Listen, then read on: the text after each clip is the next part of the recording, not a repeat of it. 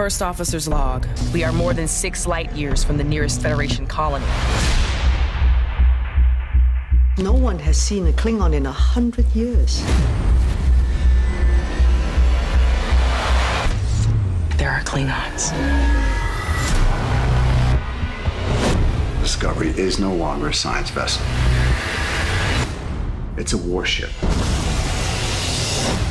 I will use you or anything else I can to achieve my mission. And what mission is that? To win the war. In my mind, you are dangerous. I'm your superior officer. Fire! Stand down. I'm not who you think I am.